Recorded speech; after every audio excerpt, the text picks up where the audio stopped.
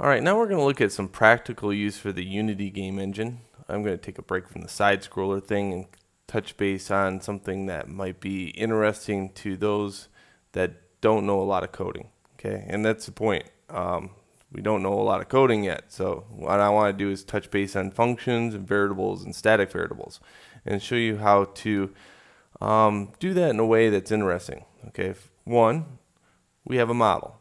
Okay, how do we present the model?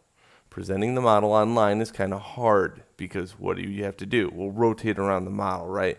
And one could probably put a MOV out there, a movie file, and have them rotate around basically by hitting play.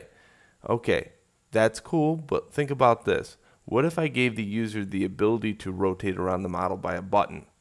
Okay, and it has nothing to do with movies and very little JavaScripting knowledge whatsoever. All right, that's what I'm talking about. And that's what's nice about the Unity game engine. You can do stuff like that. So that's what we're going to do. We're going to take this model into the Unity game engine, and then we're going to make it rotate uh, using their built-in scripting technology.